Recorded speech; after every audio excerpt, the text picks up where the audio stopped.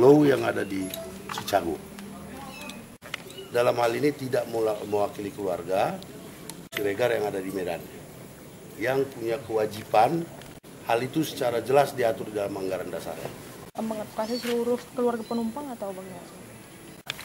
Gak ada apa-apa.